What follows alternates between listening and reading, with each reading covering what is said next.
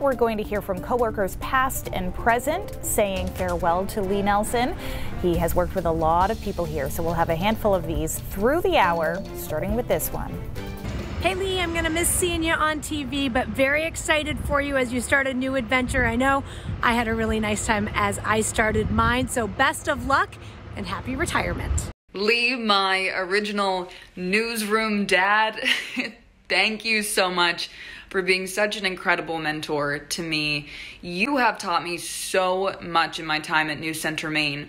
Uh, notably, you taught me that the most important thing in this industry is authenticity. And I think it's so fitting that you are now authentically following your passion, following your dream, and starting this new chapter in your life. And I couldn't be more excited for you. Hey, Lee. Uh, Lester and I wanted to congratulate you on your new adventure.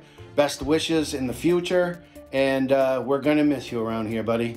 Lee, there is one girl over here in South Portland who is ready to party with you to celebrate your new career. It's Miss Finch. She's got her party hat on and she is ready to rock and roll. in the meantime, congratulations. I know you're walking around the newsroom saying, I don't want a cake.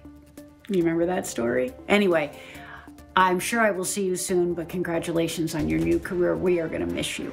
Hey Lee, congratulations on a great career, and I'm so happy that you're following your passion and your dream in this next chapter of your life. Uh, I always enjoyed talking about journalism and reporting and stories with you, uh, and also coming up with creative names for rock bands as well. So, uh, best wishes in this next chapter, and uh, good luck. Hello.